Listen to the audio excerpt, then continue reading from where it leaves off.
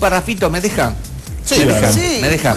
¿Eh? Eh, porque quiero dejar constancia, porque me parece que estamos en, en una situación donde hay que dejar constancia de, de estas, de estas situaciones para que no se guarden debajo de la alfombra o cuando se arme realmente una historia o un enfrentamiento se sepa por qué es. Este, hoy estaba confirmado este, una entrevista con un móvil con Guandanara, eh, que finalmente respondió que no iba a ser el móvil porque eh, la productora Ideas del Sur no se lo permitía. Ese fue el argumento, este, que ella tenía ganas de hacerlo, pero que no podía porque, eh, digamos, se lo ordenaron.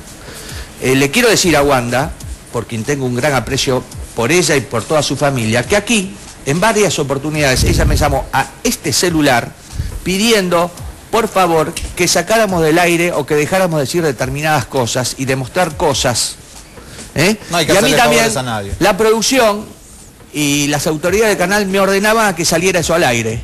Pero yo hice lo que periodísticamente consideraba que tenía que hacer.